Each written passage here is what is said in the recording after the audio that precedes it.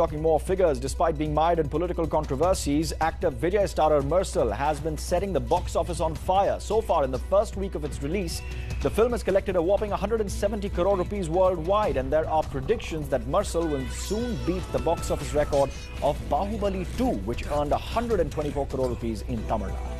And this even as the BJP staged protests once again, this time in Telangana against the film, which they accuse of being biased and politically motivated. The Tamil Nadu BJP has so far said that the film portrays GST in a poor light. The movie is a sham. Uh, it projects GST in a bad light. And if at all they were accurate, we wouldn't have had any problem. But they're inaccurate. And uh, they have twisted the facts.